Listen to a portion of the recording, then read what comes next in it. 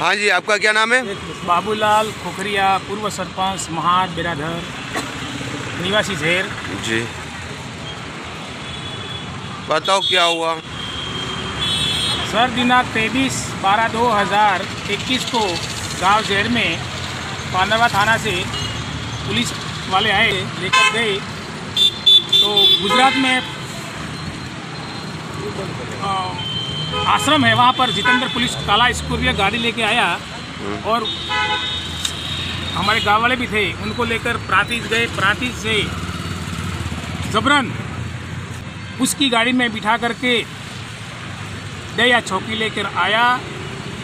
तो रात में इसके साथ असलियत हरकतें की उसने उसकी माँ को बतलाई सुबह। सुबह उसने रोटियाँ बनवाई झाड़ू पोसा करवाया उसके कपड़े खुद के साफ़ करवाए। जैसे वो जितेंद्र जी जी बता रहे हैं कि हमारे पास में ठोस सबूत है इन्होंने बच्ची को इधर उधर किया है तो आप हमें बताएँ आप क्या चाहते हो? के पास कोई ठोस सबूत हो हम अगर गलत हैं तो सीबीआई से जाँच की बात क्यों नहीं कर रहा है? हम तो सीबीआई की जाँच करना चाहते हैं कि अगर हम में कोई बच्ची बेचने वाला आरोप लगाया दलाल लग हम तो समाज सेवक हैं। मैं दो बार तो सरपंच रह चुका हूँ। आप क्या चाहते हो? सीबीआई सीआईडी जाँच? सीबीआई सीआईडी जाँच करना चाहते हैं हम तो।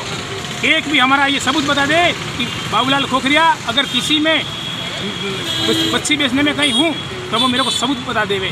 चलो जाने के लिए तैयार हूँ। चलो ठीक है आपकी आवाज़ आगे तक पहुंचाएँगे।